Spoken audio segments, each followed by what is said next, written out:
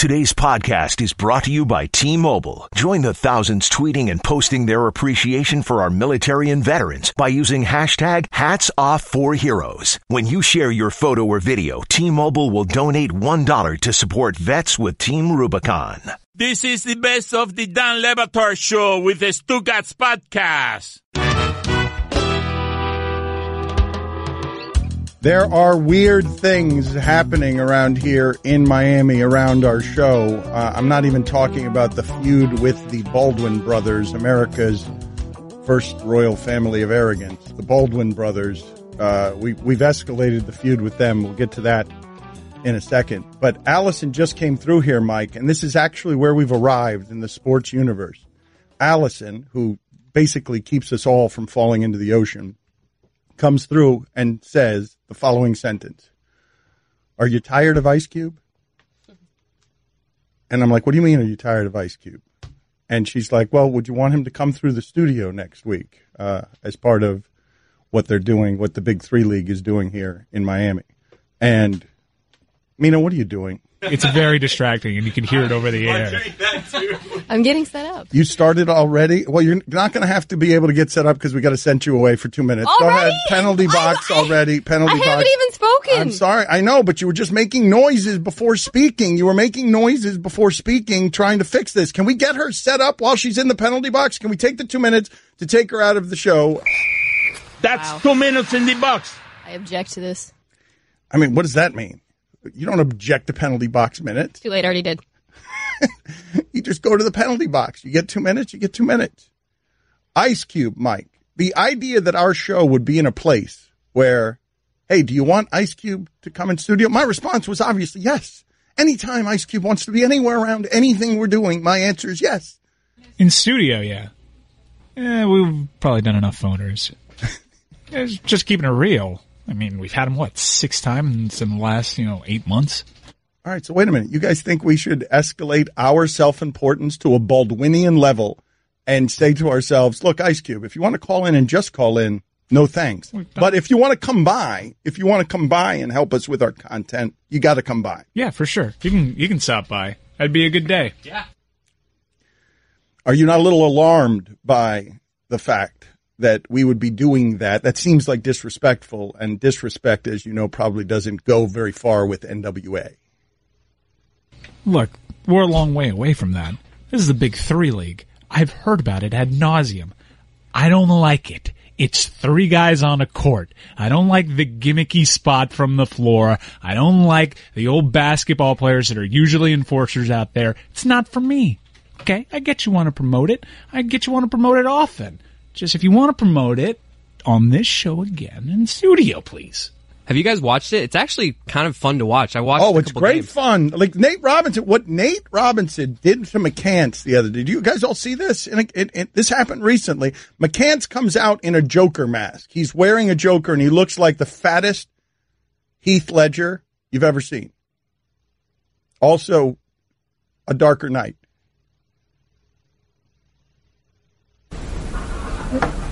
What happened? What's she doing out there? I uh, I I've had her mic'd up the whole time.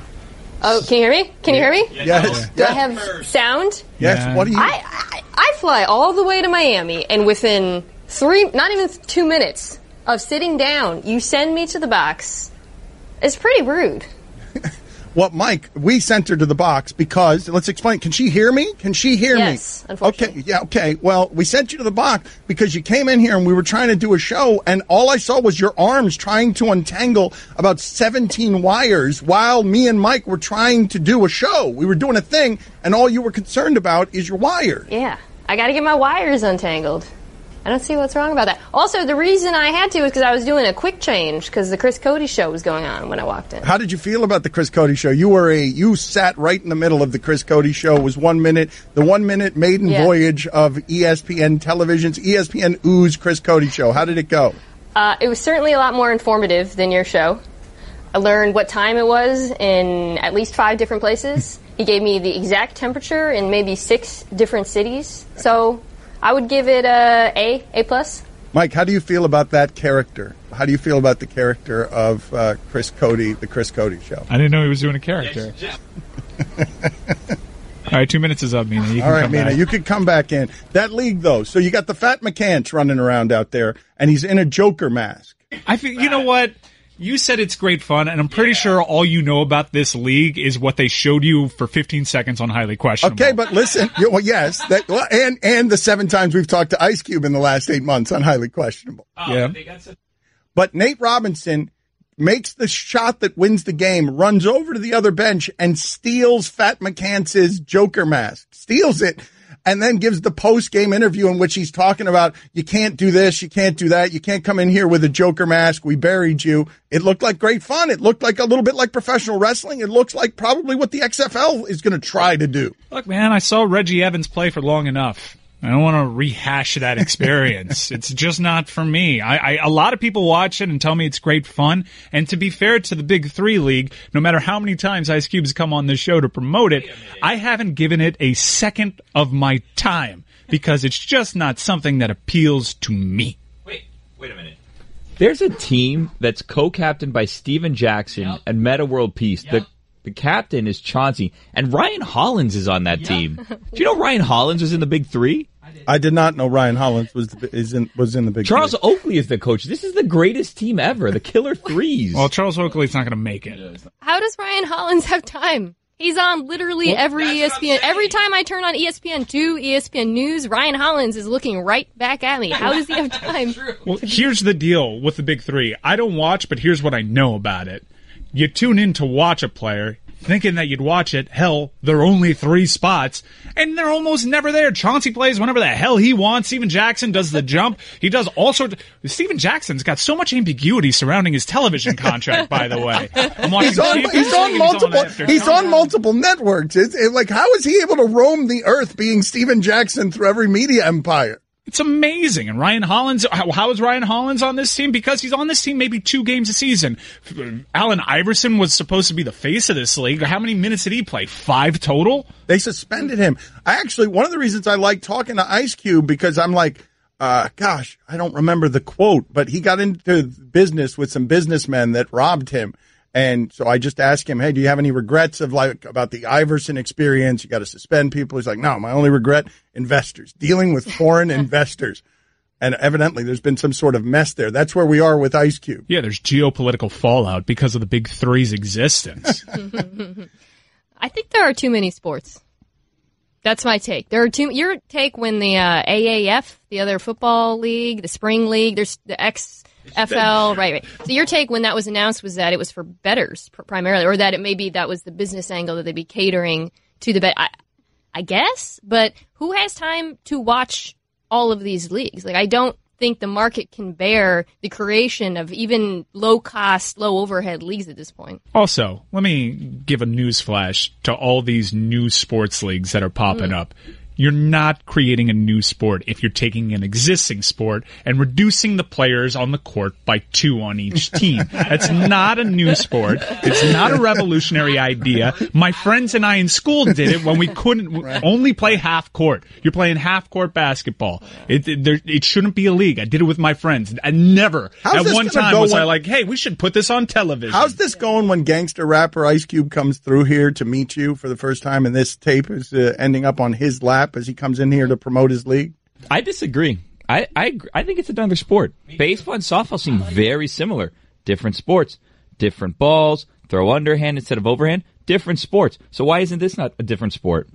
It's not. It's a worse version of what we've come to know. It's been perfected over several decades. Basketball is basketball, and you tried to do it with trampolines, and that was oh, that was that was dope. pretty That rad. was That was dope. That slam was ball dope. was no slam ball was red. I was there on Spike every week. What are you talking about? That was totally different. Yeah, Totally different. Absolutely right. I just don't understand at a time when audiences are declining, when we're all competing for a shrinking pool, the solution is more lesser sports. Like, let's do more, more leagues, but use fewer athletes. That's going to solve this problem. It doesn't Audiences, really. audiences aren't declining, Mina. There's just a billion channels Right. now. Yeah. There's an onion channel. There's a chive channel. Uh, There's channels that I didn't even know existed that just exist on not the a internet. chive There is a channel that's just devoted to the Titanic. Did you know No, that? there's not. Not not no, the there's movies. not. the English channel?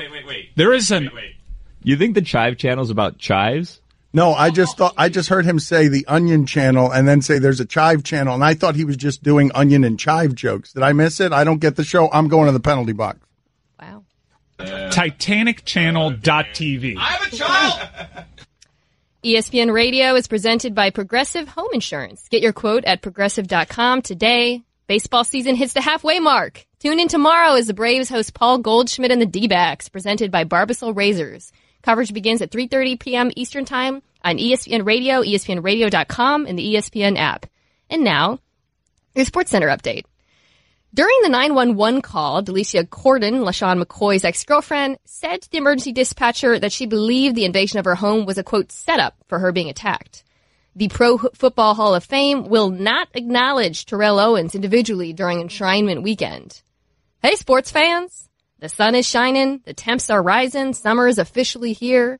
So grab your friends, blast some tunes, and ignite those coals. Because weather like this waits for no one. Kingsford Charcoal. Start something. For all the latest headlines and information, tune in to Sports Center on ESPN Radio all throughout the day. More than a stew from the Clevelander on ESPN Radio. Dan Le Batard. You're announcing that you will not announce that they are a good team until they've won back to back. Yeah. But because you are taking away all of Kevin Durant's championships in your personal record book, Right. you are never allowing him to win them back to back, even if they win them back to back, thus securing that you never have to identify them as a great team. Correct. Stugotz. I hate when I wander around in your head and see all the empty spaces and the tumbleweed blown around in. This is the Dan Le Batard Show with the Stugotz on E ESPN Radio. Baseball season hits the halfway mark. Tune in tomorrow as the Indians host Aaron Judge and the Yankees. Presented by Indeed. Coverage begins at 6.30 p.m. Eastern Time on E ESPN Radio, ESPNRadio.com, and the ESPN app. Why are you laughing while reading that? Because I, I, I feel so terrible, but Roy has a headache and he's wearing sunglasses in the studio. And he My pointed to me. sunglasses. He's wearing my sunglasses. I, the I, I have gr- the greatest sympathy for him. He's got a migraine and he just threw up into a bucket. Yeah, and I can't see because I have prescription glasses, so you uh, you are completely blurry right now. He- right now, he pointed at me and he looked like um, Al Pacino in Scent of a Woman. right. He was giving you your cue to read, and he did. He- I'm not I'm more Ray Charles That's, I guess, a little more. than than Racially Al accurate. Pacino. Won't like wearing glasses without your prescription make your headache worse? Um. Roy? Well, he has a lighter prescription, so uh, I don't I don't think that's going to be the case here. All right, Roy. Do we need to send you home? You just threw up in a bucket. Guillermo, put it on the poll. If an employee throws up in a bucket, does he have to go home? I think we, should, we should leave him alone, and I feel terrible for even pointing attention at him. We, we have a bucket? It's the garbage can in the green room. That's why it is vomit again. All right. Wait a minute. Yes, there's vomit. No, it's no, no, there's vomit in the garbage can, which has a bag in it. It's not on the floor. It's not on the lid of the garbage Why are can. you It's not getting the mad side at of the Roy garbage for throwing up? Roy, you had to throw up. No, it's gonna smell super yucky now. Take that outside. Very yucky. Ill. can. It'll, it'll get changed after the show. Who? After the show. I'll do it. I'll do it. Oh, I'm, I'll do it. vomit. I'm currently I'm gonna vomit. well. I'm currently doing my job. Uh, oh, all right, during Thanks, all guys. right, during all of this, here we go. Here comes the. gon- You guys are trying to get me to gag, is what you're going to try and do. Oh, right.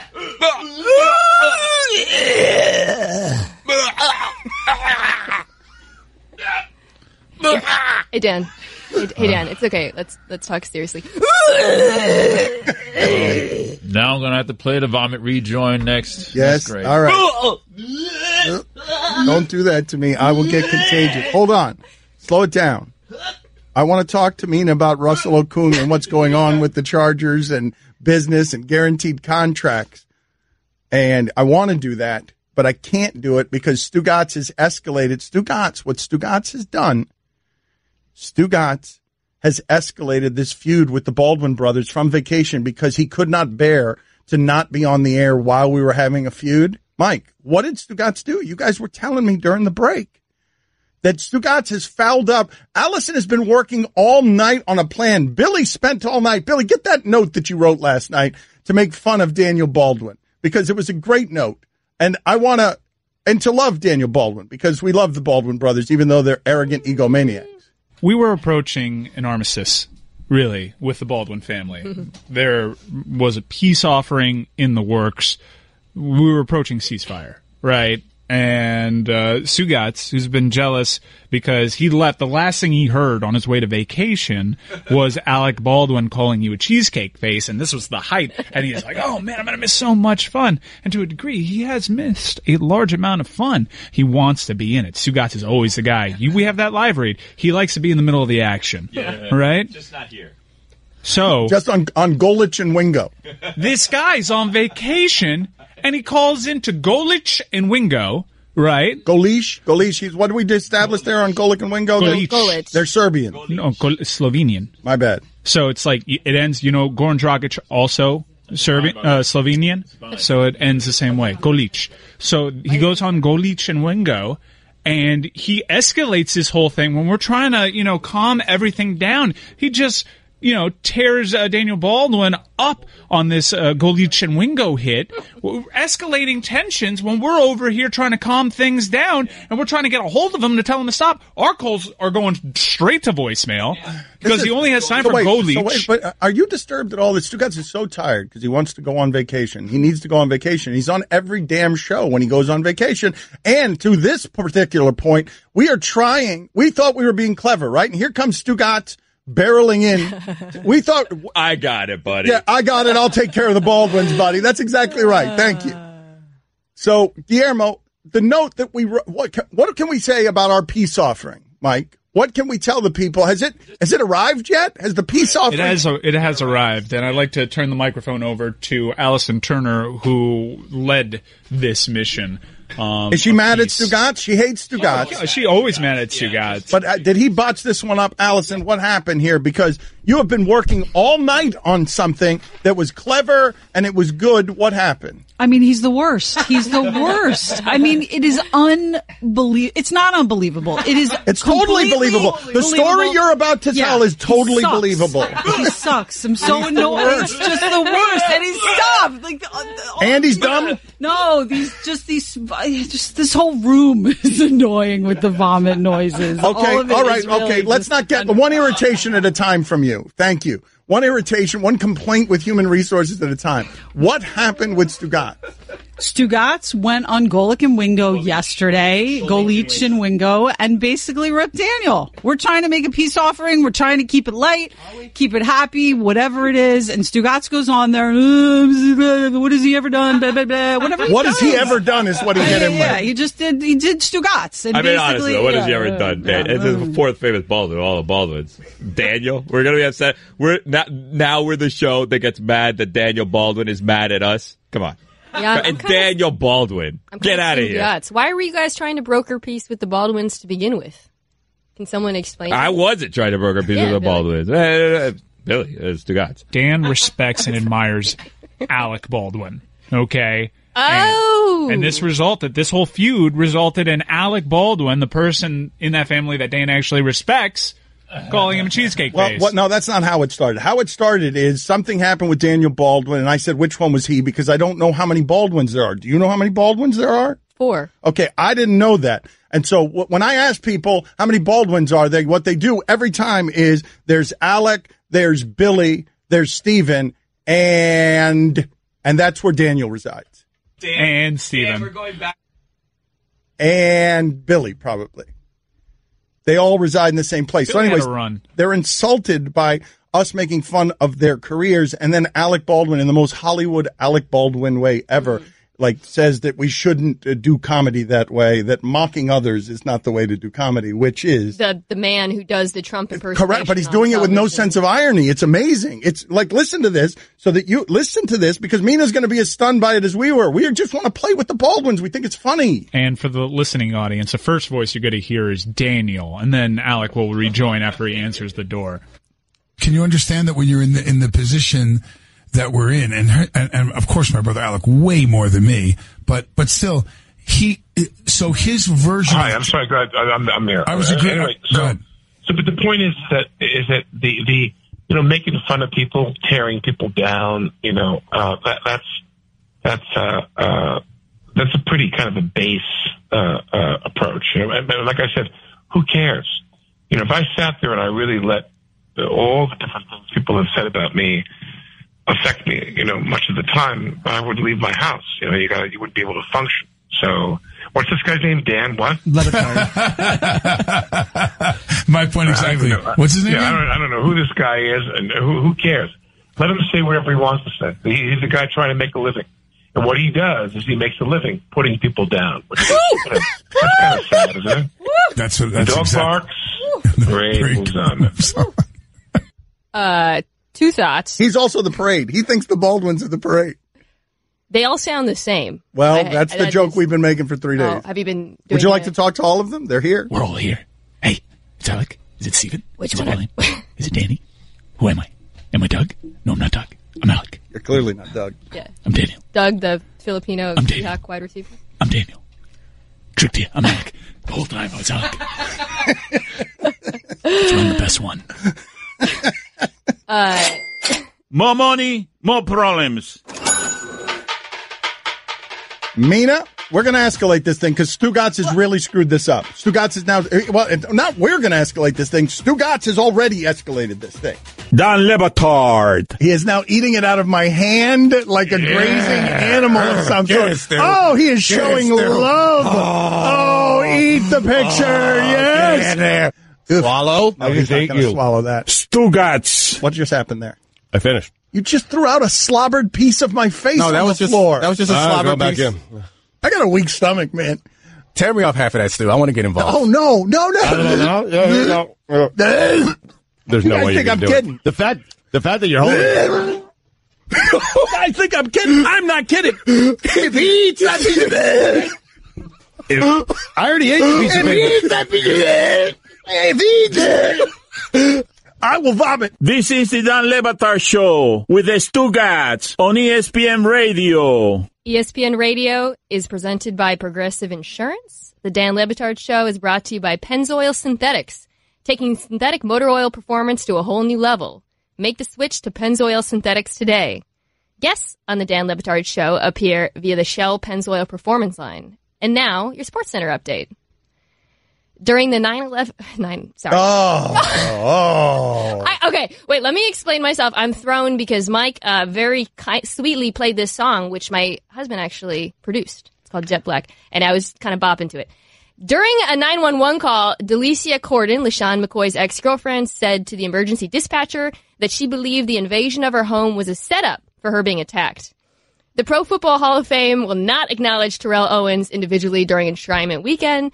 Finally, scientists have invented artificial intelligence from DNA. That won't backfire. Caltech researchers made a neural network out of DNA that can recognize handwritten numbers. Hey, sports fans! the sun is shining, the temps are rising, summer is officially here. So grab your friends, blast some tunes, and ignite those coals. What am I doing? Because weather like this waits for no one. Kingsford Charcoal. Start something. You're you're For all the latest headlines and information, don't interrupt me, Dan. Tune in to Sports Center on ESPN Radio all throughout the day. Crushed it. You did. You did. Bomani Jones with us now. A lot of stuff I want to talk about with uh, with him. Uh, just before we get to him, though, Mina just said I saw the good-looking Baldwin in the L.A. airport, and of course I asked which one, and then she says the sedated one, and I'm like, which one is the sedated one? That's actually how that went, Mike. Yeah, it's me. Wh- who are you? Guess. Well, I know who I saw. I want to know who you think it was. The handsome one? Yes, who's the handsome one? You, are you thinking it's Billy? yes, it's, it was Billy. It's not. It's Alec. It's me. It's me the whole time. All right. So uh, when we have dif- when we have difficult things to talk about I'm the around best here, actor. That's what I do. uh, we go to Bomani Jones because I don't know what what am I supposed to do as a media member. And thanks, Bo, as always, for making time for us. You can catch him on High Noon here in a little bit. Noon, High Noon, you can catch him. Uh, but what am I supposed to do with this LeSean McCoy story? How do I talk about it? First of all, I would like to say I love the fact that my job here is to be the one to do this so nobody else gets fired. I am. I, that is a that is a brilliant role to have within this operation. Here's what we do with the LeSean McCoy story. It's actually pretty simple. All we got to do is wait. like that's the only thing we have to do. Here's my like the thought that I have about it is our industry is basically a futures market. Like what we do is we get on the air, we get on whatever, and we talk about what's going to happen. It's in large part because we talk about sports for people who are ultimately going to gamble. So what we always want to do is we want to get out in front of the story and tell people where the story is going. And so on this one, you call the NFL and we're like, hey, NFL, do you have a statement about LeSean McCoy? And then they roll out that we're aware of the situation and monitoring it and everything else. In the end, yo, man, if this is what it may appear to be, depending on your angle, he's going to jail for years and years and years. We won't have to do anything about it if that happens. And if look, my thought: if he gets arrested or indicted for this, he will immediately be released because he's an old running back. As Ray Rice, what happens to old running backs? He'll immediately be released. The legal system will take care of it, and he'll probably never play again. Like that's probably how this thing's all going to play out. But for the issue itself, all we got to do is find out if he did what he's been accused of. Bomani, we talked about this yesterday. I said the same thing. Right now, it's a news story, like not a commentary story. Right? It keeps showing up on our morning call sheet for HQ. We keep not talking about it because it's not something you take on yet. However, I want to know what you think with these stories, with uh, you know domestic violence or sexual assault. There's always at a point at which we decide we're comfortable flipping from news to commentary, right? Like because look, they don't go to court. It's not going to happen. We're not going to get a judgment. There's never that 100%, okay, he did it or he didn't. At what point do you feel like you are you are comfortable weighing in on it? I would feel comfortable weighing in on it when I felt confident based on what information had been presented that there was a crime that had been committed, and then we can go from there. My problem with the subsequent commentary that comes from it is we wait till the commentary is amazingly easy. And then when the commentary is easy, we all jump in. Like I remember, um, I was watching the Penn, the Paterno movie that HBO did on the plane last week. And I remember that story, and it got to be so exhausting and overwhelming to do the story because everybody knew what the right answer was, right? The right answer, molesting children is bad. But you can't di- differentiate yourself by saying uh, molesting children is badly. So you have to be the loudest person to talk about how bad it is to molest children, because that's the only way that you can stand out in the midst of the commentary. So when this becomes a commentary story, what commentary is it that I'm supposed to make? Especially for these people who tell me I'm supposed to stick sports all the time. Like, am I supposed to come give the obvious answer? It is wrong to send somebody to beat up your girlfriend to get her out of the house. Well, what did he do? I'm wondering when you say it's easy to jump in, jump in in commentary. Bomani Jones with us again. High noon with Pablo Torre. You should watch it at noon here in an hour and 20 minutes. Go find it. High noon ESPN. But when you say it's easy to jump in and we all jump in when it's easy, isn't the media's job in the real world, not in this fake sports world of ours, but isn't the media's job to jump in before then? To jump in before it's easy? It is our job to do that, but most people are hired to do this job based on their ability to talk about sports and their ability to gather information around locker rooms and organizations. They're not really built to talk about this on larger, more in more nuanced stages. Like that, that's not the way that they're there. So yeah, our job should be to be able to have what are the difficult conversations that surround this. It just so happens with this McCoy story there's nothing difficult here. Like with Ray Rice, for example, there was a very interesting and difficult conversation that I don't think a lot of people got on, which was Ray Rice did everything that we wanted him to do to absolve himself after the fact of what he did. I think atone is probably a better word than absolve. But he did everything that you could ask somebody to do in a very similar vein to the way that Tim Hardaway did everything you could ask somebody to do after he embarrassed himself talking to you about gay players in the NBA. But guys do this.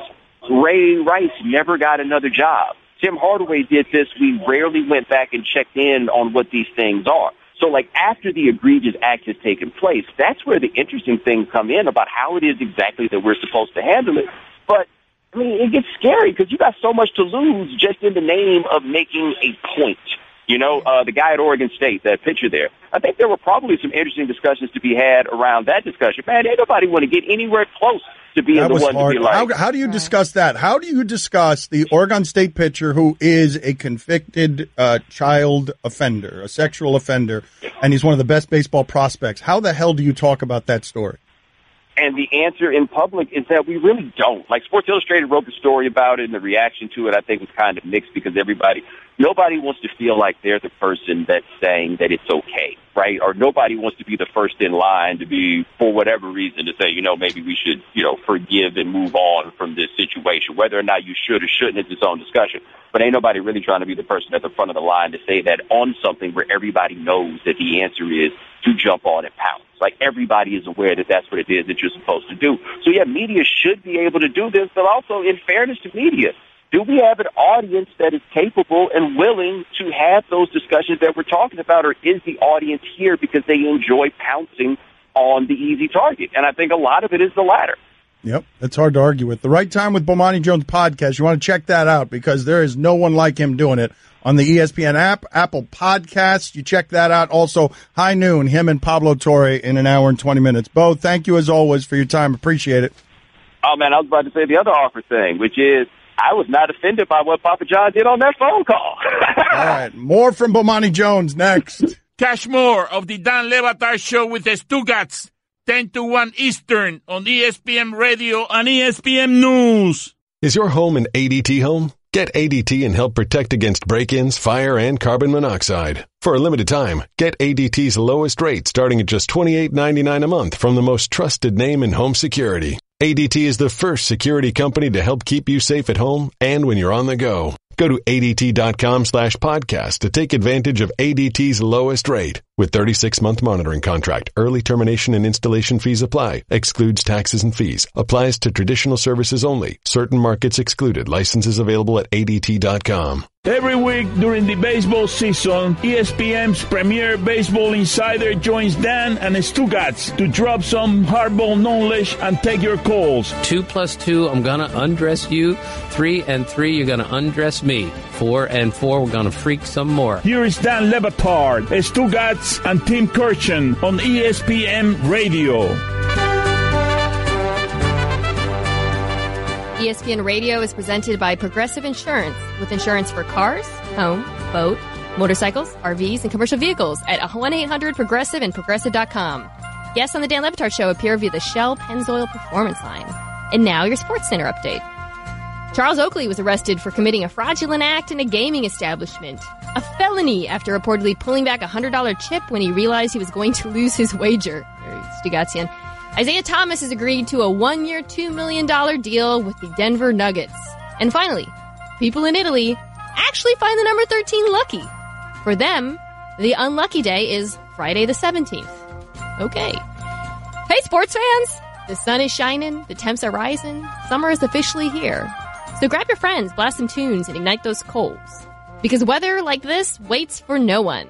Kingsford Charcoal. Start something. For all the latest headlines and information, tune in to SportsCenter on ESPN Radio all throughout the day. Show is moving very fast. Our feud with the Baldwin brothers is escalating. Uh, I want to get to this guaranteed contract story. Uh, Mike Ryan says that the Isner match is popping. Mike Ryan just put on a shirt of Amin Elhassan uh, failing at American Ninja Warrior. It is a wonderful shirt. Uh, you can. Uh, uh, where did you get that? I just saw you put it on. Where Where did you acquire? We'll get to Tim Kurkjian in a second. Your baseball calls, your etiquette calls, whatever you got. Your life calls, life philosophy. 786-456-4837. Tell us a where you got that shirt and what's happening with Isner. Isner said it's popping. Okay. He's serving for the match right now. Is he going to get it? No! This ain't. Yeah! Isner, my boy! USA! USA! USA! You can't tell the difference between Isner and Anderson. They're both wearing hats. They're just they're just giant, tall, lanky Both- serving machines. Yeah, serving monsters. This was a, a crazy set because Isner got broken, which is hard to do, and then Anderson, who's been even tougher to break, got broken by Isner. The guts, the chutzpah that John Isner has. Where'd you get that shirt? A listener. Okay. A listener sent it.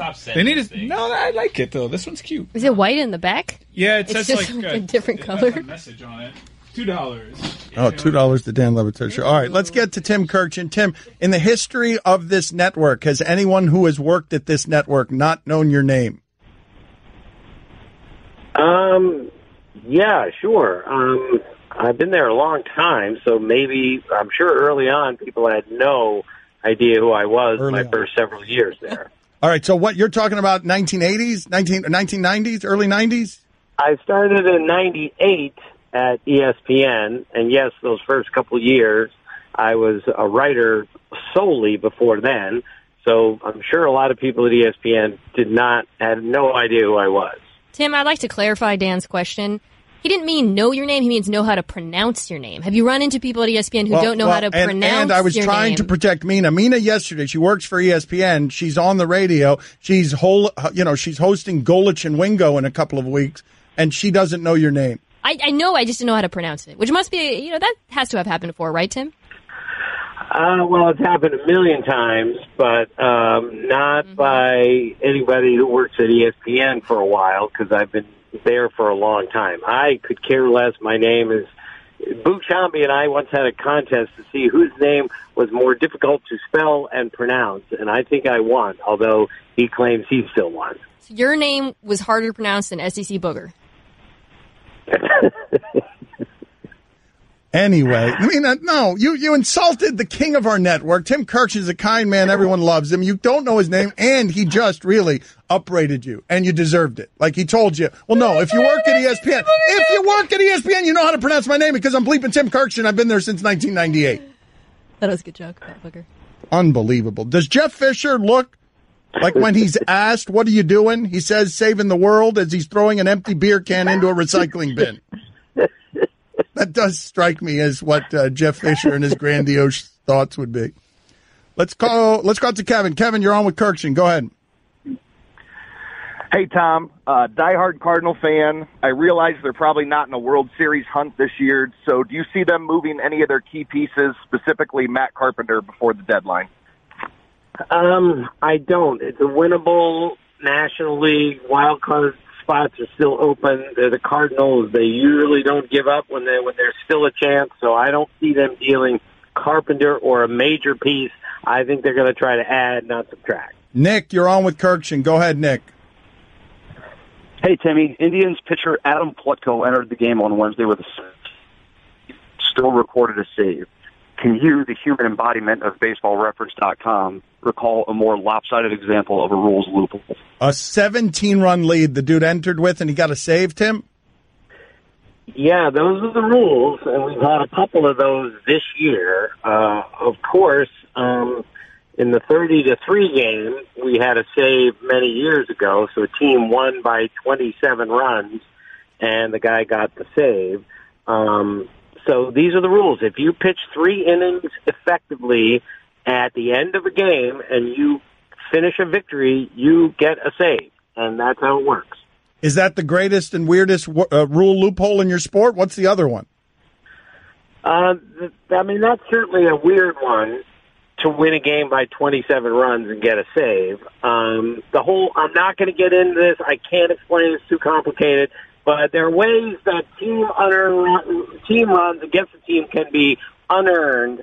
But a pitcher who comes into the game during all this can have the runs earned against his personal record, and all the runs against the team are unearned. That's very complicated, but that's a weird rule. Tim, uh, something else that isn't complicated is being an E ESPN employee and knowing how to pronounce your name. Tim Kirkjohn. That's how Mina was. That's how she pronounced it yesterday. Tim Kirkjohn. Yeah, there's a lot of extra I's put in between the K and the J. There's a lot of Kirkagens going, but Kirkajon is is kind of a new one from an ESPN employee. Unbelievable, Mina, Mina. I don't care, Mina. She wins awards for news reporting all those years, and I clip out box scores for a living. It doesn't matter. I don't care. Tim Kirkjohn. Oh, he's being so nice that I didn't feel bad yesterday, but now You should I feel feel bad. really you should. bad. Phil, he's an icon. He's uh, you blasphemed against the cathedral. he was. Phil, you're on with Tim Kurkjian. Kirkajon. Hey, hey, Tim, it's Phil. Uh, I just want to know if it's socially acceptable to wear socks and sandals in the summertime. Socks and sandals in the summertime. Dan, we've been over this. Uh, you can't wear socks with sandals, and for me, this isn't going for anybody else. I've never owned a pair of sandals. I will never own a pair of sandals. I've never, uh, I've never let anybody see my feet unless I'm in the ocean or a pool or in the shower or in bed. That's it.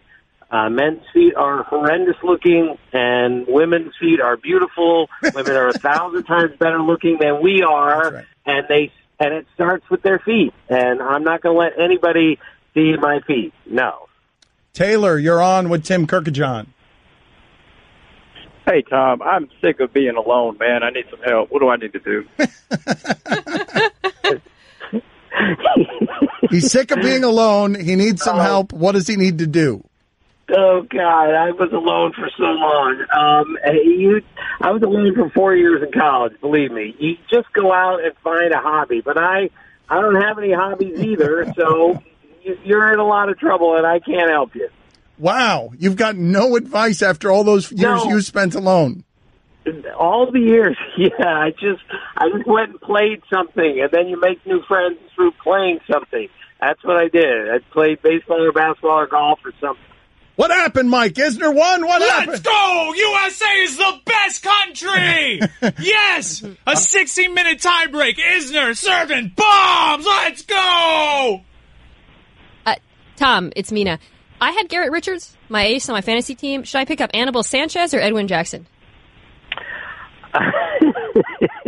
I would pick up Anibal Sanchez. He pitched really well his last time out. Edwin Jackson is with his 13th major league team. He's never won 20 games for any of those teams, not in a season, but Hold on a second. Hold on a second. Hold on a second. Mina, did you not see Mike was doing a thing with Isner? So you got in here with your fantasy question? you just something- looked at me and that's gave me just- tacit approval but to Mike ask the was do- question. Mike was doing a bit. It was an insane tiebreaker. Guys that never get broken were getting broken left and right. Isner serving 140 miles per hour. That's a fine for Mina. No, she That just should be a fine. It's a fine question. No, I it's a think. fine I'm- question.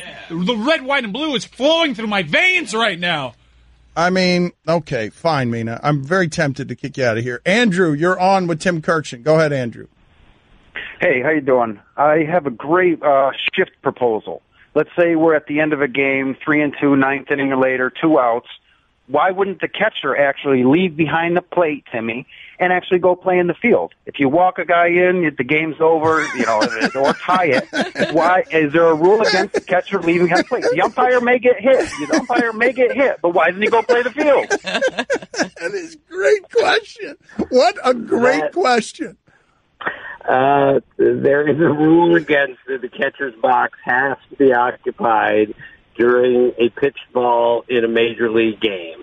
And that, otherwise, that's a great idea. I got asked the other day, why on a sacrifice fly doesn't the runner run down past third base, get a running start, time his run so he touches the bag as soon as the outfielder catches it, and now he's got a running start. That's funny. That's funny. That's, and it's These because, are the questions I get asked. No, but that's a great question. It's because your foot has to be on the bag before you, you know, before the out is recorded, right? That is correct. So you have to time it perfectly to be on the bag, uh, certainly after the guy catches it, and then you take off for the plate. Does Stan Van Gundy look like the guy in the public restroom who only washed his hands because you walked in and caught him before he could leave? what? Does what is the pizza? He's the pizza delivery box. Yes, he's also on a pizza delivery box. Does Adnan Virk look like the confused, the confused dad in a car commercial, wondering why his generic minivan isn't up to par as his neighbor's new Buick Enclave? Does Field Yates look like he yells outlet when playing basketball? Does Rob Pelinka look like a wax sculpture of Rob Lowe? He does, right? You guys have noticed this, right? He looks just Oh, like Rob hair. Rob Lowe. Does Craig Counsell look like the husband on House Hunters with only one thing on his wish list that the house is under budget, only to finally choose the one house that is slightly over budget? Isn't that the truth? Counsell looks like that, right? Yeah, he does. He looks like a lot of a lot of people. He is so great, Craig Counsell. Oh my gosh. Uh, you are too, Kirk John. Thank you for being on with us, sir. Okay, see you guys. Don Le Batard. Mike, for some reason, I saw you in the room there working on what I thought was your Andrew Luck. I wasn't sure. I walk into the room, and of course, what they're talking about is who in sports would you call to rescue your life if you were in a threatening situation and feel like you were going to actually be rescued. And so he's working on his Andrew Luck. So let's go ahead and play it out. Stugatz. Well, you know, it's not something I like. I want to do, but I, absolutely, it'll save your life. I'll, I'll rappel down this cave. I'll, I'll neutralize the threat. We'll secure the perimeter. You, know, get you back to your beautiful life.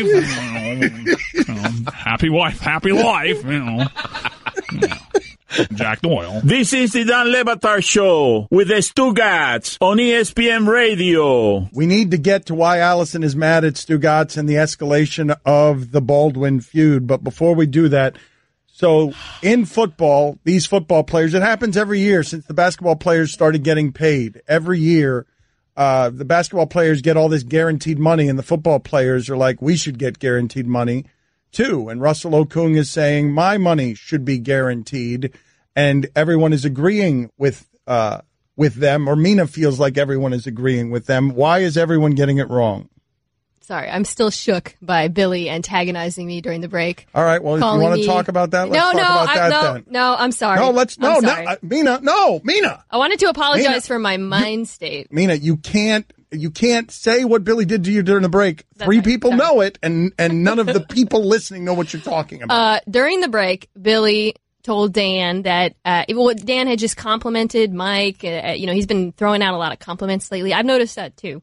And he said, "You're like the the parent who thinks all of your children, everything they do is perfect." And I said, "Well, he was just roasting me." And Billy looked me straight in the eyes and said, "You're not part of the family. You're the stepsister. You're like the adopted child." Billy, Am I wrong? When he's right, he's right.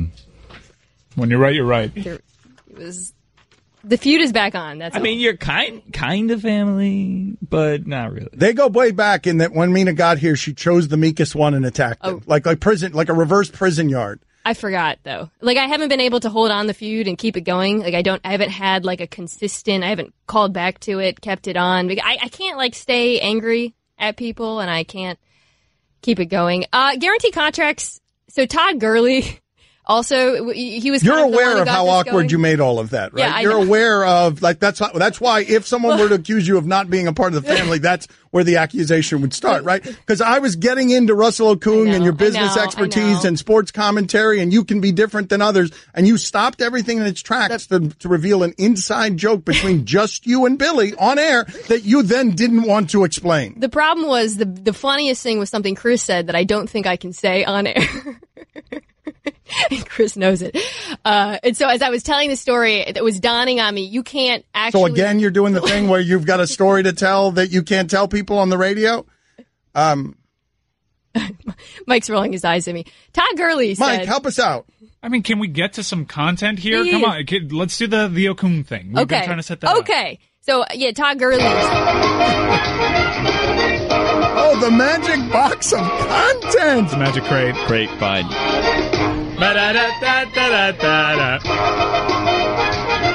That's too bad that we can't get to that. It really is unfortunate. I thought it was pretty good. So Mina, who is playing the role of Stugatz, whenever the magic crate of content music begins, we have to stop everything we're doing and go into the crate to receive a magical question from the magic crate of content. You are not allowed to No, read no, no, it. you, no, no, no. You, you, you rummage and you hand it down. Come on. Those are the rules, Mina. It's, it's why if someone, yeah, stepsister. if someone were to say that you're not a member of the family, it would be for reasons like that. Talk about how weird it is that Hulk Hogan brought down Gawker. That's great. It's a great question for Mina. She's the business reporter. We might actually be able to get some content out of her this segment instead of just incompetence. Did you hear the question, Mina? Roy was in my ear telling me. Oh my god. Here we go. Did you hear the question? Yes. How weird is it that Hulk Hogan brought down Gawker? Can you answer the question instead of whatever Roy said in your ear? Why are you blaming Roy if you heard the question? It's a fine. Just keep it moving. I, I I don't think it's that weird. I think it's kind of where things are going right now, right? With the press and the way um, people are the sort of. There's been a few of these frivolous lawsuits. The same guy, I believe, is funding a lot of them. Who funded? It wasn't. Uh, well, Peter Thiel is obviously involved, but There's not. They're not. But they're they're good lawsuits. They're not. Right. oh, well, yeah. In this case, I mean, there was obviously some substance to it. Uh, That's not a frivolous lawsuit. Hulk Hogan. a lot of the ones he is doing are though. Uh, but Hulk Hogan ended Gawker. yes. That's crazy. they made a mistake. They made a mistake. But I do think this has like a chilling effect, you know, on other media outlets who are afraid of the time and energy it takes to defend unserious lawsuits with no merit to them, which is something that you do you have seen increasingly happening. I'll say it. It's weird. It is so weird, isn't it? The weirdest. Why is that so serious? It's so weird. It's a It, Hulk Hogan ended a media entity with the leg drop. suburban commando. And, and- yes, that's right. And, and yes, sleeper allegedly with Bubba the Love Sponge's wife. Oh, I thought you were talking about the sleeper hold that Roddy Piper won the WCW championship off him from. Not as impressive as body slamming Andre the Giant. Don Le Batard. What's the single most important thing the Eagles have to do to beat the Patriots? Stugatz.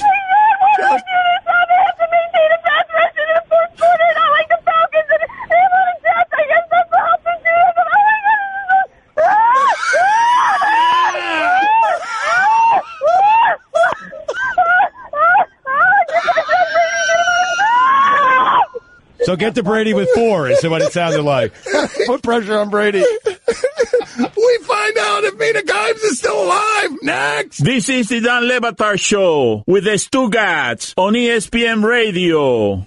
ESPN Radio is presented by Progressive Insurance. Guests on the Dan Le Batard Show appear via the Shell Pennzoil Performance Line. Want to sit courtside at a Mavs game with Mark Cuban? Or announce a pick at the 2019 NFL Draft? Have an amazing experience with us here in Miami.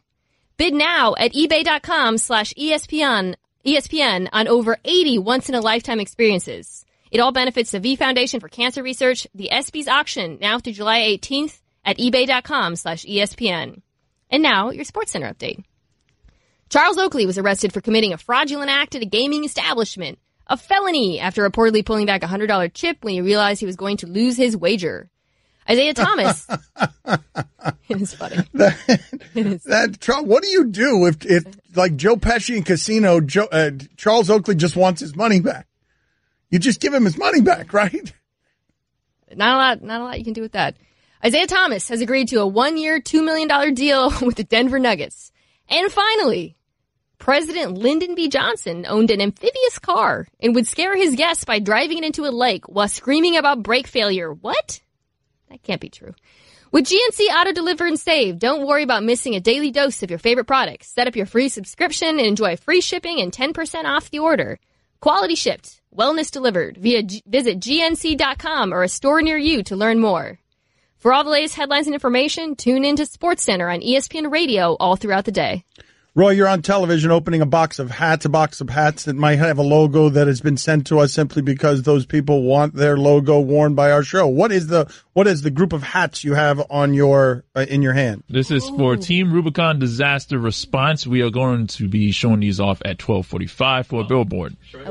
Oh, Yeah, and, and right now, too. And right now. But Okay. when we show them off, we're taking it, the hat, it's a hats off. Okay, all right. So it's a thing. It's not just somebody because the listeners have been sending us gifts lately. You were wearing an Amin Elhassan. Lately, the listeners have been sending the creative content is a gift from a listener. Yeah, it's incredible. You don't have to call out every car that passes by. Yeah. So the V Foundation is doing something now with us. And Mike, you were saying that uh, what Mina was reading during the break, that's something that we got to tell people about. Last year, we got uh, a lot of people paid a lot of money to watch a Heat game with my father and with Stugatz. Yeah, and we're adding something to it. You get the uh, original artwork that uh. Did during our NBA Finals watch party. So you get that wonderful painting. You get to hang out with us in our studio while we're doing the show. You get to watch highly questionable tape. Then you go to a Miami Heat game and you get a wonderful experience. There are all sorts of goodies that go with, along with that. And you get to watch a Heat game with Stugatz, Dan, Poppy. Last time you brought Pablo Torre around. It was it was really cool. The last couple of times, the, the people, I'm not promising this, but the last couple of times, the people have been able to meet Pat Riley, been able to meet uh, Micky Arison, been able to meet some people as well. We don't promise that, but that has happened the last couple of the times. celebrities just sort of hang around Dan, Dan Le Batard. and if you're hanging around Dan Le Batard, you might see a celebrity or two. Who knows? Go to ebay.com slash ESPN. Right now, we are the third most bid on experience. I don't think anyone's topping the uh, topping the opening of Star Wars Galaxy Edge at the, the Walt Disney World Resort. So many Star Wars fans are doing that. That's an amazing auction item. But there's this pitch lunch with Dallas Mavericks owner Mark Cuban that's ahead of us by just uh, a hundred bucks or so. And now, if you want to bypass the whole Shark Tank tank experience, maybe do that. I, it might be a business uh, deposit that you're putting on this lunch, but it, hanging out with us. we got to really beat cool. everybody. We have the most bids. Everybody by the but way. Star Wars. Uh, right now we're at seventy nine hundred dollars. Right now, seventy one bids, most bids. But Well, our listeners will crush everybody. The Stugatz Army will crush everybody. So go ahead and crush everybody, including Cuban.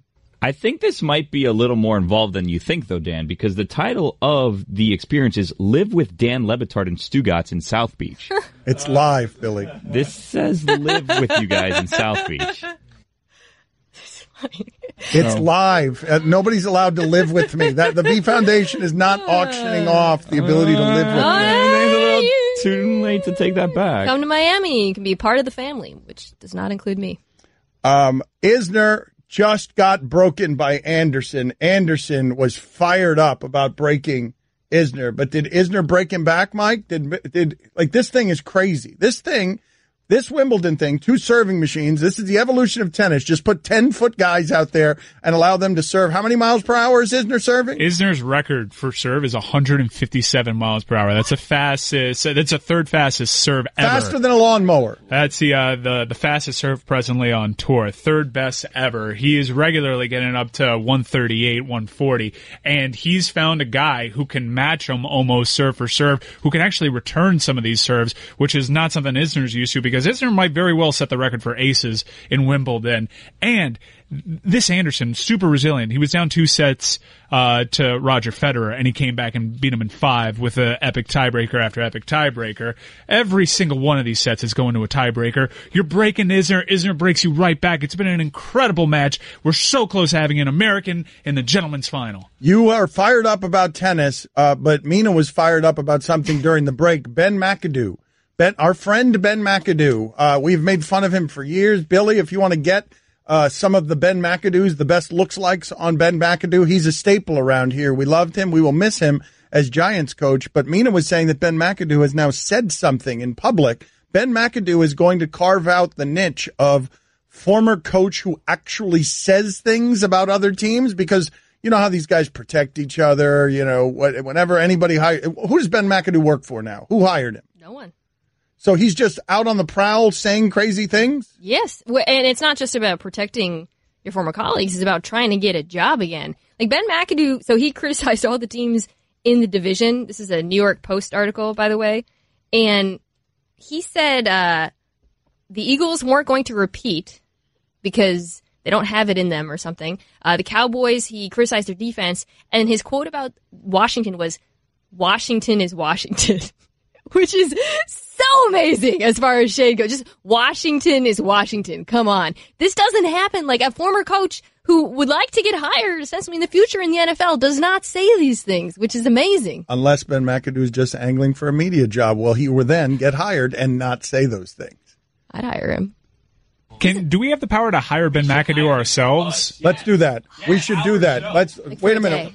Wait a minute. Why can't I'll we do that? incorporate it and I'll just make him like one of my employees. No, but why can't we have Ben McAdoo as the former coach that we used to make fun of, who just comes on here and actually is a coach who says stuff on television, as opposed to all the other coaches? Well, he has he has just cause to hate us. Because of the looks likes? Yeah. Or were they very insulting? Look, he Well, we're was gonna read some no, of them, too, but in a we second. sort of really got the wheel turning with, hey, this self-serious guy, he's kind of funny, right?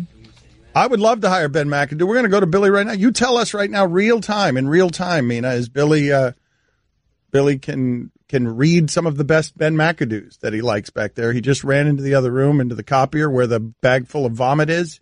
We have over 130 submissions, so it's a little bit of. See, that's why he reading doesn't out like there. us. Okay, we have 130 submissions, but let's, do you have any of them highlighted? Like, Yeah, I have here uh, a couple of the best. Ben McAdoo looks like a pirate from an off-strip Vegas show circa 1996. That's a good one. Ben McAdoo looks like a manager of a struggling hot tub hot tub outlet store. Accurate. Also a good one. Ben McAdoo looks like divorce. Correct. I mean, Ben McAdoo looks like your friend who hates the NBA for being soft and not playing defense, quote, like they did when Bird played. Goes without saying. Ben McAdoo looks like a bowler who is shown on ESPN Classic. No surprise at all. Ben McAdoo looks like the guy who has taken it upon himself to keep the condo pool free of leaves. He is that guy. Ben McAdoo looks like the guy who married the hottest girl in high school 20 years later and takes care of her six kids while she's out at the bar with her ex. Cold hard truths. Our ex is Doug Pederson. Ben McAdoo looks like a man who's been lost in Lowe's for two hours. Gospel. Ben McAdoo always looks like he's wearing a disguise. Preach. Ben McAdoo looks like the hot dog vendor in front of a Home Depot who scolds you for asking for ketchup. 100%. Ben McAdoo looks like a contestant on Wheel of Fortune. Infallible. Ben McAdoo looks like the guy who walks into Supercuts and says, I'll take the usual, and doesn't realize he has different hairstylists every time. Put it in stone. Ben McAdoo looks like the instructor in a 1980s bus driver training video. He was born to do that. And the last of our list of best of Ben McAdoo's Ben. Oh no, this one. Can't do that one. No, we're done with this. Mina doesn't. Uh, Mina didn't laugh at any of them. Mina didn't like any of them. So is it? What's the verdict? Is it funny or is it not funny? Or can we hire Ben McAdoo? You know what his problem was? So he came back the second season Outside of with his the general aesthetic, well. His face. His face is he the changed his look because Yes. of this game. Yeah, and yeah. also changed Well, the I- look because also of he's his not a good coach. You that played into it, but and he came back in the second season with the slick back look. Do you remember that? Because Yes, of this game. Because of this game. We're really gonna take responsibility Mina, for that? Mina, yes, Mina. We shamed him into that. Mina. Okay. Who else? Who else was? Who else was? Call him. He's talking. You think he was He's saying his, whatever he wants. You think he Why was can't brushing we? his teeth one day and he's like, you know what? I want a new me. What other coaches just come back with a completely new look? Come on. No, the Doesn't guy. happen. No, somebody did do that. At Bounty Gate, uh, Williams did that when he came back in Oh. disguise With the- after he was at the head of like asking for people to be concussed. He came back wearing like a mask. That's true. Do you guys not remember And that? Mattingly Greg had a mustache once and he looked totally different. uh, uh, Mattingly, and Bobby Valentine also used a disguise. We need to get this question to Ben McAdoo because he's answering. He's All right, being like Allison, very. see if you can get. First of all, we're going to get to the Baldwin feud in a second with Allison. She's going to explain how Stugotz screwed this whole thing up. Also, see if you can get us Ben McAdoo before the end of the show. Catch more of the Dan Le Batard Show with the Stugotz, 10 to 1 Eastern on ESPN Radio and ESPN News. Dan Le Batard. Nobody in my life has as many unlikable traits who I still like as Stugotz. Stugotz. Would you have taken the pay cut? No. Pay cuts. Please. The hell are you talking to? This is the Dan Le Batard Show with the Stugotz on ESPN Radio.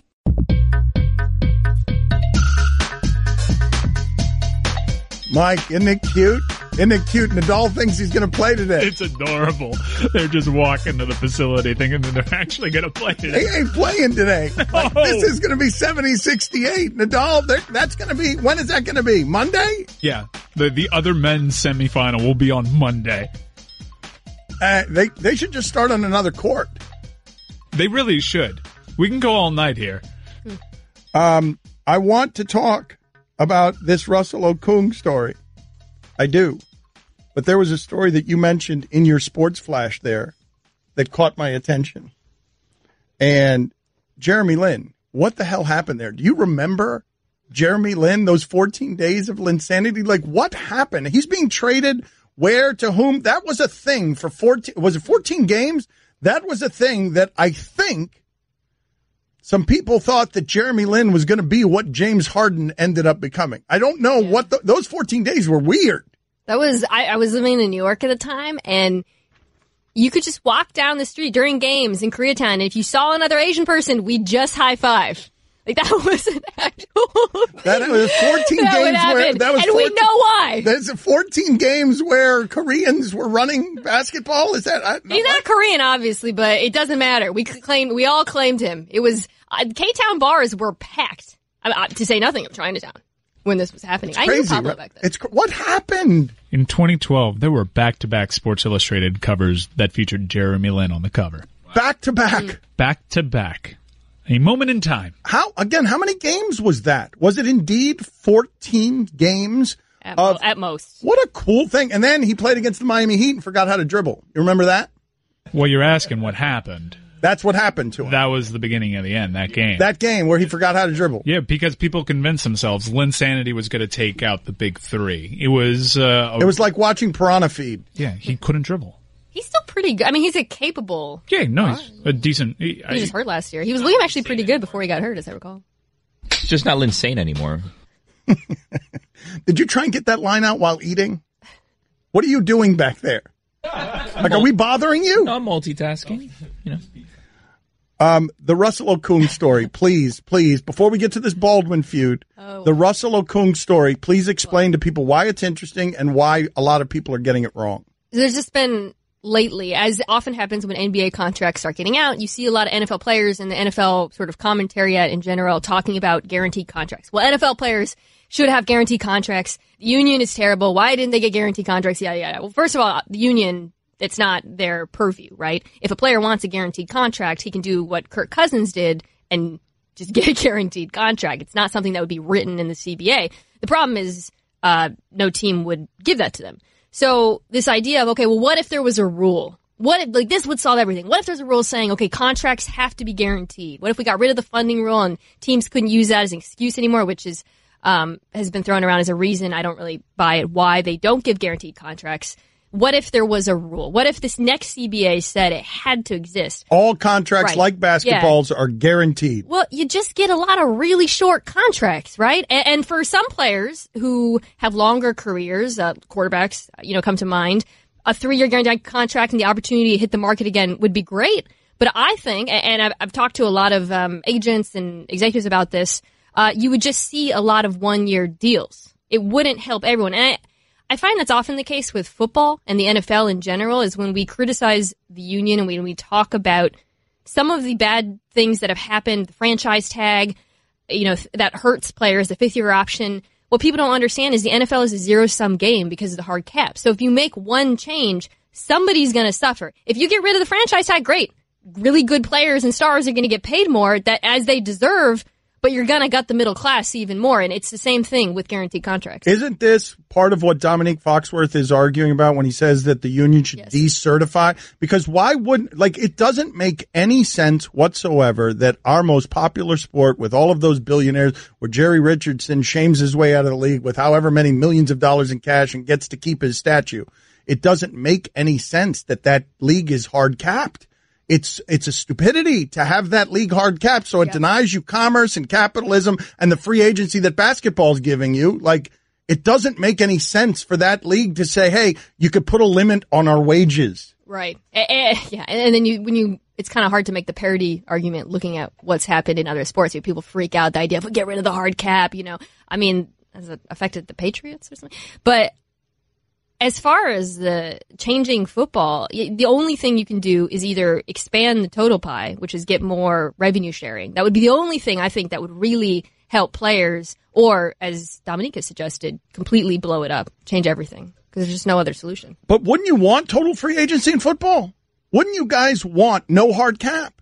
Wouldn't the wouldn't the consumer, not the fan of the not the fan of the one team, wouldn't the consumer want a frenzy on you can pay anyone you want for a year or two, whatever it is that you want for a year or two or six years or and take your chances with the injury risk. The the businessmen who run this sport would never go for that, but wouldn't that be better for the consumer? I actually think it would be good for that sport, whereas in basketball it'd be really bad. I mean, it's bad enough as it is with a cap in terms of dominance, but football is a more random game and you have the one game samples. A team that has the highest payroll and signing the players to the biggest and best contracts will very likely not come out as Super Bowl champion. Just too much has to go right, in such a physical sport.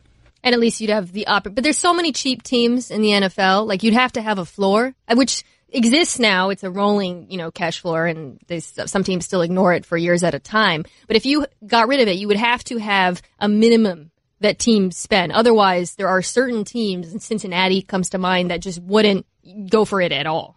The the Bengals are the uh, are the most egregious offender here in football, where they clearly aren't all that interested in winning. They're interested. Is there what's the greater example anywhere? I guess baseball has some true tankers, but the Bengals are pretty much telling you every year by by continually hiring Marvin Lewis and never changing Andy Dalton that they're not actually in it to win. If they win, it'll be nice, but what they're in it to win is dollars. That they are running foot their football team like a mom and pop business. If you look at the Bengals draft too, I, I don't have their draft class in front of me, but they tend to draft guys from local, like guys that they have traveled by car. Just, The Bengals are a high school team that, that just has Andy Dalton trying to play quarterback with AJ Green. It is a family business. The Browns, the, the, the Cleveland Browns are named after the family that owned the Bengals. That is a football family, and it is a family business. So the Browns aren't trying to win either. You don't think? No, I'm. I'm. so- I was confusing people because Mike Brown, who owns the Bengals, Oh, I see. From Okay. his dad, uh, I believe was his his dad or grand? Well, he's related to Paul Brown, who the Cleveland Browns were named after. Football is basically named after all of these people. Yeah. And in football, the way they is their choose business. to represent football is by only focusing on the business and never focusing on the football. No, the Bills didn't come from a guy named Bill, Chris. Really, Chris?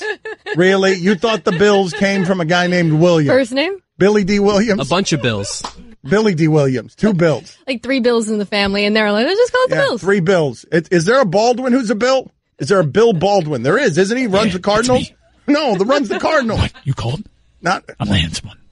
Just kidding. It was Alec the whole time. I was in the shadow. What is going on with our feud, Allison? How did Stugotz screw up our feud? Are we going to finally get to this next? Because the whole thing has escalated with the Baldwins. Allison has been listening to the Daniel Baldwin radio show in Syracuse. We've been trying to get a hold of Stugotz, who claims his reception's bad. Of but course. he's been texting me about John Isner for You're right, the last right. two hours. His reception's bad, except if Golic and Wingo are calling. they, they call and he goes, he runs right on there. What are you asking? What's where are, where does our feud stand? Like where did, did has Baldwin? Did can we talk about our gift? Can we talk about the note we we, can wrote? talk about the gift. We can talk about the note. We can talk about Stugatz just sabotaging everything. Excellent tease. usual. All right, we're gonna do. All right, we're gonna do that next. Raindrop, drop top. Time to read the script for a hot spot. This is going to be a disaster next segment, right? Uh, Stugatz really fouled this up, got in the way of everything from vacation while on the Golic and Wingo show. It's Golic, right, Mike? Golic? Golic. Golic or Golic? Golic and Wingo. That's better. I well, like do you it. say Dragic or Dragic? Either I li- way, it's fine. I like Golic and Wingo because his name has been a fraud the entire time. It's not actually Golic. ESPN has been perpetrating a fraud on the American people for 20 years. Think of it as Go Leach. Oh, okay. There you go. That's what his son is doing. Don Le Batard. I mean, just an asinine thing that Disney pays us for. Just asinine. Thank you. Stugotz. It's a clerical error, man. This is arriving at an accountant's desk in Disney, and then it's wait a minute. How much is this costing us? Why? More, please. This is the Don Le Batard Show with the Stugotz on ESPN Radio. All right, so let's get to our feud with the Baldwin brothers and what Billy wrote to the Baldwin brothers and how this has escalated and where we are with Allison. Allison was trying, Allison holds our whole thing together. Mike, explain for the people who are just joining us why it is or how it is we're feuding with the Baldwins through sound. What can we, they, the Baldwins evidently are taking themselves very seriously. We do not. We don't understand how anyone other than Alec and the Baldwin family could take themselves seriously. Ooh. No, that's too hard. That's sort of how the whole thing started. That's not how it started. It started with me asking which one was Daniel. I didn't know there was a Daniel. I didn't know that there were four of them. And then I asked, is he the fat one? That's where it started. Right. Well, we actually have the start of uh, Daniel Baldwin's radio show on Syracuse. to sort Which- of It paint starts literally with a roar. So here is Daniel Baldwin coming out of the gates with the music you'd expect and a literal roar. This is the Daniel Baldwin Show. Ah, there it is. That's who we're feuding with. Okay. That's the guy right there. That's that's how Daniel Baldwin starts his radio show. We could do it again if Mina would like it because there was actually like what to do it did, where, what did he say after the roar? I, I want to go to wherever it is where, that that show that magical show goes after the roar. I mean, it, it would be considered trash talking, no? No. That's think, not trash talking? No, I think that's just their show. Who's the fat one is not trash talking? All right, so that's where we are uh, in the in the feud. That's where it started, and then Alec got involved, and it was really pompous, and it was disappointing to me because I love Alec Baldwin, and I, we've been trying to get him around here for 15 years to talk to him about a variety of different things. Was it pompous though? He was just saying, "Who cares what this guy says? Like, who cares?" He was saying that he gets to decide what comedy is, and that he he was defining comedy for us. That their way of doing the beef is better than our way of doing the beef. He was less pompous and more hypocritical, right? We Right, because That's he's also Trump on television on Saturdays. So, anyways, we tried to fix all of this, or Allison did, because she's always basically this is a ship around here. Ship is the word ship. This is a ship around here that leaks oil and gas and water all the time. And if Allison doesn't plug all the leaks, what ends up happening is there's a bag of vomit in our studio. That's what ends up happening. That is true, and, and now sitting outside. Our now studio. sitting outside in a garbage bag, a bag of vomit because Roy had a headache and vomited into a box or a bucket. So during during all of this, Roy vomiting, you are sending a peace offering to the Baldwins to Daniel Baldwin's radio studio. And uh, there's a reason why we picked a specific peace offering. It's because Alec Baldwin said this about you. God bless him. I mean, he wakes up every day, he looks in the mirror, he's got a face like a like a cheesecake. And what's he going to do? I mean, he's got he's got he's got, he's got to live with that. He's, he's got a, he's got a tough cross to bear. He's He bearing does. a big Well, cross. well, you know, and the other thing he's thing a about human it, cheesecake. I mean, Alec, it's not fair because I saw you get bloated. I saw you, Alec. I saw you get bloated and you lost the weight because you don't have the thyroid condition I have, but you lost the weight, Alec. And it's not fair for you to make fun of f- fat people. Comedy is something that should only be done without mocking or at the expense of others. Excuses the lament of the loser. Okay. Anyway, I knew you'd say that. So Allison is sending to William Baldwin what? Or Daniel Baldwin, excuse me. No, it's Daniel. I get them No, confused. I'm sorry. Billy. Yeah. I'm we delivered a giant cheesecake this morning. Giant. Appropriately. There were giant. people Well, working the biggest one I could find in, you know, five minutes. The one that was closest to Dan's actual face. And so Billy wrote a note on it uh, because uh, Daniel Baldwin's career as a as an actor is very forgettable, but it's got some title roles that you might recognize uh, in Billy's note here. What were you trying to do with the note that we sent him, Billy? Well, you know, I was trying to undo all the stuff that you're currently doing now, but he's very accomplished. He has like over 130 credits on IMDb, so we thought, you know, it'd be nice to send him a note, and we'll slip in some titles of some of his more memorable projects in there. So he wrote him a note, and then, you know, it got there with the cheesecakes today. And what was the note? What can you tell people about the note? Oh. Because these are all. Should I tell people what the joke is? Because they might not know what the actual movie titles are that Daniel Baldwin has on his IMDb. All of these sentences will reference a Daniel Baldwin movie title of some sort. So here's the note. From one fat brother to another. Sorry for making you yesterday's target. The truth is, in pursuit of making jokes, we are often on the border of making people feel NYPD blue without considering the mm-hmm. fallout or after effect. We meant no harm, but this was bound to happen. We'll acknowledge that's no excuse. We should have had the wisdom to know the difference between funny and offensive. The truth is, we think you and your brothers are the real deal. As the final move in this vendetta, no coincidence, no mercy, we scoured the neighborhood with a devotion to make this right. Hope you will accept and enjoy the treat. Love, Cheesecake Face Le Batard. How many movie titles from Daniel Baldwin did you get in that note? I didn't recognize any of them. The Any Force them. NYPD Blue. I, I I didn't. I didn't. Re- no, there, there are about forty of them in there. About forty. I think there were 16 movie titles in there. Yeah, you want to try it again? Like, Again, this is the note. This is 16 Daniel movie title, Daniel Baldwin movie titles are on this note. Okay, I'll count them out as they're happening. Should he have his voice in a higher, like higher Yes, octave when yes. he does like, it? fi- do it as somebody else. The, the- whatever the wherever the movie Okay, titles so are. just change my voice in the middle. Do it as. Dan. Yeah, we need a, a sonic cue. Okay. From one fat brother to another. Sorry for making you yesterday's target. Hmm. The truth is, in pursuit of making jokes, we are often on the border of making people feel NYPD blue without considering the fallout or after effect. We meant no harm, but this was bound to happen. We acknowledge that's no excuse. We should have had the wisdom to know the difference be- between funny and offensive. The truth is, we think you and your brother are the real deal. As the final move in this vendetta, no coincidence, no mercy, we scoured the neighborhood with a devotion to make this right. Hope you will accept and enjoy the treat. Love, Cheesecake Face Le Batard. Will is actually what was that 19? It was like 19 or 20. I think the biggest uh, upset there was that No Excuses was not a movie. How is that possible? I thought for sure no excuses would be a Daniel Baldwin the headliner. I think that was a Billy Baldwin project. I can't believe you worked in the wisdom to know the difference. By the way, that was truly That was impressive. amazing. That Yeah. was the genius, the wisdom to know the difference. So anyway, Stugotz screwed it all up. We'll tell you about it at some point after we talk to the face of U.S. soccer in this country. Don Le Batard. But I don't know what you do with the public comments because last time we heard from Hassan Whiteside, he's questioning the way he's used, and then 10, 10 days later, he's saying publicly, I believe in all of Spo's decisions. I believe in him. Nothing Hassan says means anything. It's it's cartoon words. Stugotz. You seem really broken up about this, man. It does seem Yeah. like Yeah. you're holding back tears. Yeah. You want a napkin? What's going on? Because Yeah. of the way I'm speaking. Yeah. Because Yeah, yeah, yeah. Yeah, yeah. Drink some. Yeah. It sounds like I'm I'm emotional about this. Yeah, yeah. That Barry Jackson report hit you hard, oh. man. This is the Dan Le Batard Show with the Stugotz on ESPN Radio. ESPN Radio is presented by Progressive Insurance. Guests on the Dan Le Batard Show appear via the Shell Pennzoil Performance Line. And now your SportsCenter update. The Nets have traded Jeremy Lin and two draft picks to the Hawks for a draft pick and the rights to Isaiah Cordinier. The Nets have also traded Isaiah Whitehead to the Nuggets for Kenneth Faried, Darrell Arthur, and two draft picks. The Nuggets will waive Whitehead.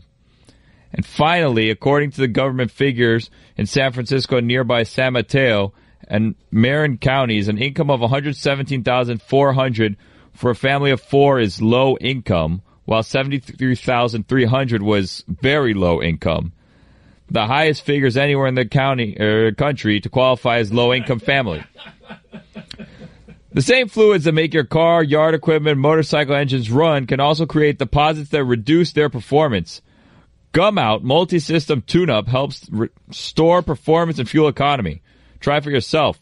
Buy one bottle of Multi-System Tune-Up at Advanced Auto Parts. You get carbon choke cleaner free. For all the latest headlines and information, tune into the Sports Center on ESPN Radio all throughout the day. We're 15 minutes from opening up the club around here. We got to get to how Stugatz has screwed up the entire Baldwin feud. And now we've got the face of U.S. soccer with us here. Landon Donovan is joining us on ESPN radio.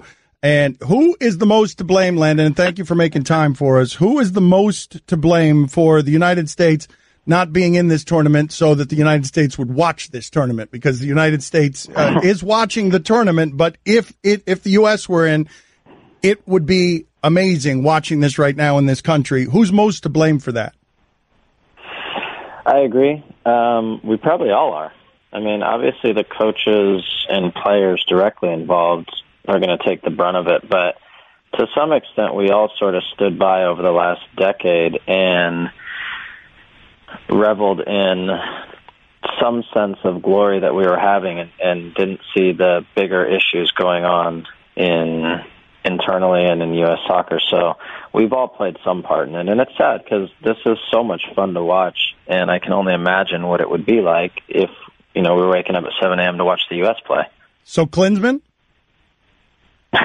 Klinsmann's the reason, you- right? Klinsmann. well, Klinsmann. that? Yeah, Klinsmann's the. Re- so what you're saying is that Klinsmann's the reason, right? It, it was all his fault. Right? That's right.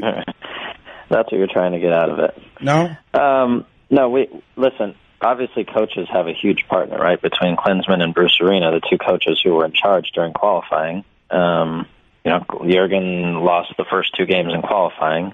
I'm not sure in the history of CONCACAF qualifying that if you lose your first two games, any any team has ever advanced. Um, and then Bruce Arena had a chance still to resurrect it, and he got the team back to a good place. But in the end, there was a game in Trinidad to qualify for the World Cup, and we couldn't. We lost the game. All we had to do was tie the game, and we couldn't do it. So that's uh, there's a, there's plenty of blame to go around.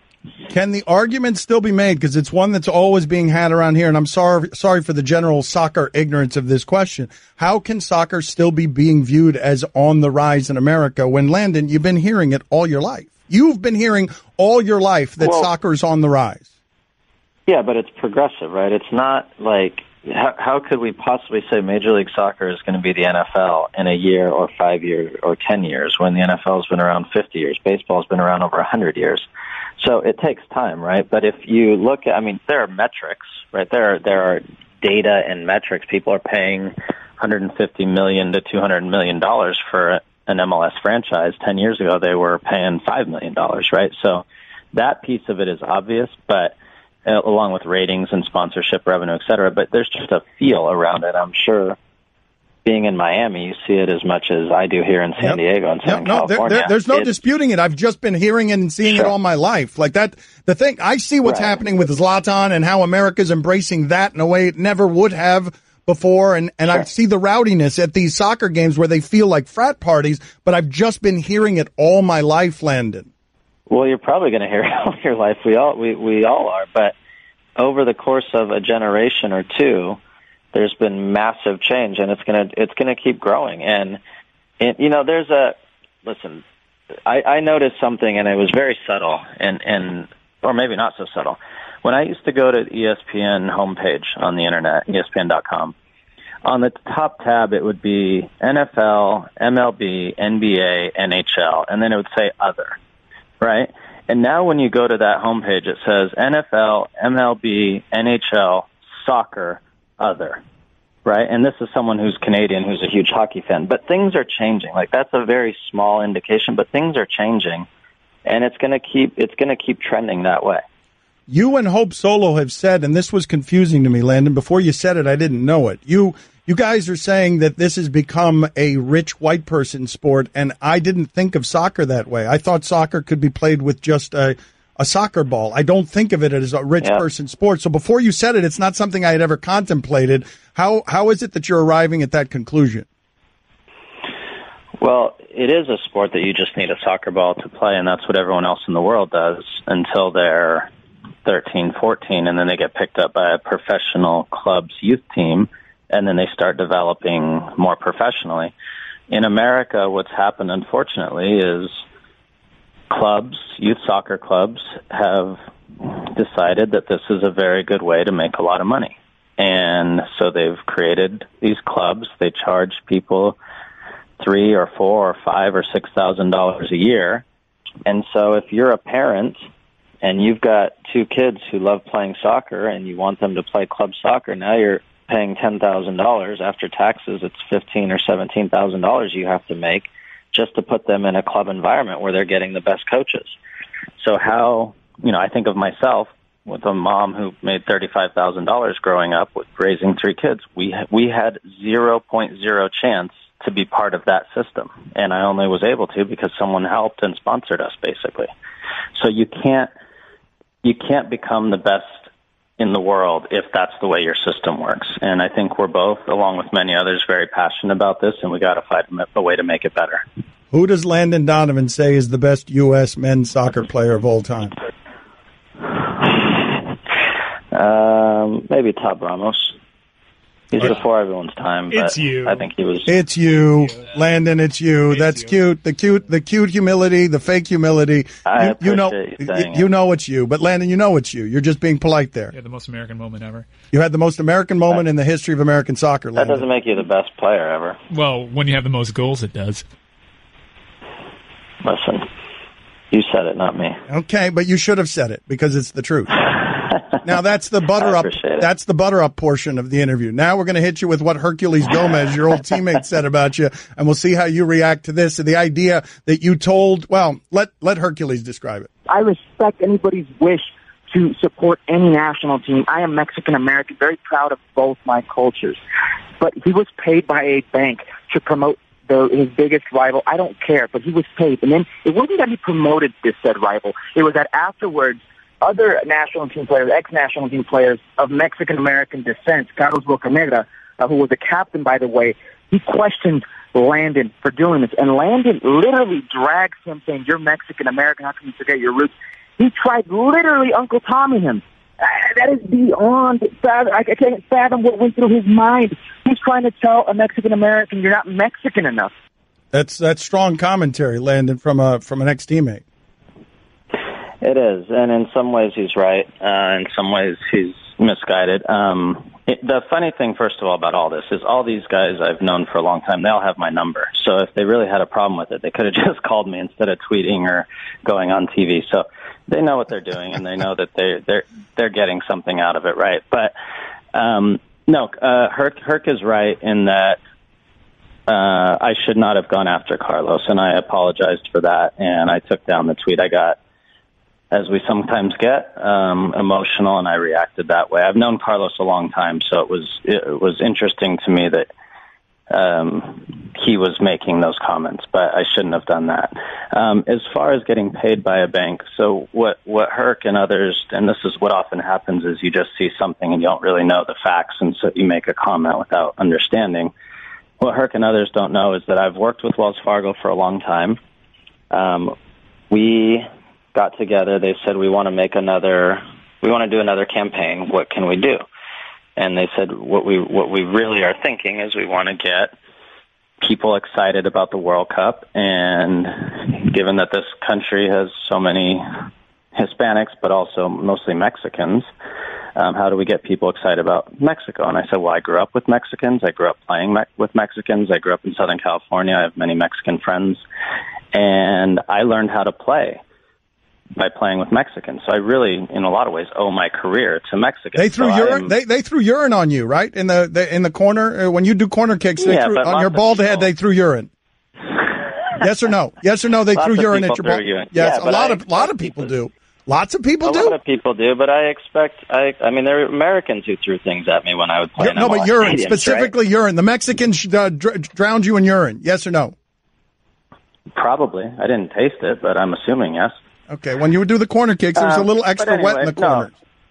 That's fine. But no, the point is, is that I, and I also just played and lived in Mexico for four months. I want to see, I wanted to see them succeed. I was happy for them to succeed. And by the way, I still don't understand how not having a team from this region advance into the quarterfinals of the World Cup is good for any of us. I mean, to, to root against Mexico or Panama or Costa Rica just doesn't make sense to me. We want this region to get promoted. And I think it's, you know, it's, if Houston gets knocked out by Golden State, wouldn't you want the Western Conference then to win? If you're Houston or you're a Houston fan, doesn't that doesn't that make you feel better? But No, no, no, no, not at all. Okay, well that's the way I feel, and most of the people I talk to say, you know, I have people say I'm a Michigan fan, but if Ohio State is playing for, we want the Only SEC. Only the SEC. Only. That- that's the way you. That's the way you feel because Wells Fargo paid you to feel that way. Yeah, No, that's Corporate not chill. Yeah, he's in the corner. That's not true. Landon, we but that's uh, no. I mean, that's unfortunate, but that's you know that's the way I feel, and I and I'm not going to back down from that because I do feel that way. It was good catching up with you. Uh, let's uh, let's talk. I want to talk next week about the final. About the final prediction, real quick. Well, my predictions so far were that Germany was going to win, and then they got knocked out. That Brazil was going to win, and then they got knocked out. And then I also said last week that Croatia had no chance to win it. So I should probably stop. The, the, the Croatians are doping, right, Landon? Okay, let's get out on this note. Let's just leave. Thank you, Landon. We appreciate it. All right, thanks, guys. This show ain't free. Time for some ads. I hope he enjoyed that. Yeah, I'm sure he'll be on next week. Yeah, yeah, he'll be on. Dan, when it comes to soccer, pushes a little too far. Yeah, the envelope is is in. Walmart, Stugatz, tell them about Walmart. Hey, Dan, did you hear? Amazon raising its membership fee by 20% to $119 for free shipping. It's a big chunk of change. Avoid the fees by heading to Walmart. They offer free two-day shipping with no membership fee. That saves you $119 to spend on anything, It's something amazing. What would- Dan, $119. You know how many candy bars that is? Like 119 of them. would you, what would you do with the extra cash? I'm thinking mounds. I'm thinking, you know, chocolate tacos. Curved television. Those look so nice in the sports bars. Aren't Choco Tacos ice cream? Yeah, but choc- chocolate's ice cream. They're also Choc- candy. They're also sandwiches. Yeah. 119 of them. Spouse feeling neglected lately? Get creative with a backyard beach vacation, complete with beach chairs, umbrellas, and pina coladas. Or maybe it's time you take all your coworkers out to lunch on you. There's a lot you can do with 119 bucks. Thank you, Walmart. Two day, two business day shipping, minimum $35 order, restrictions apply. You can listen to the Dan Le Batard Show with the Stugotz 10 to 1 Eastern on ESPN Radio, and you can watch on ESPNews. I'm a squeaky toy, and I've got one job getting chomped on by this little ankle sniffer. So, pardon me for feeling inept compared to Geico, who does so much more. Like, while I'm getting slobbered on, Geico is creating cool technology like their mobile app, which lets people pay their bills or file a claim. Plus, Geico is the fastest growing auto insurer for the last 10 years. Is it too much for me to ask for one more feature? Fast and friendly claim service like Geico, maybe? Oh, great. I'm getting buried again. Geico. Expect great savings and a whole lot more.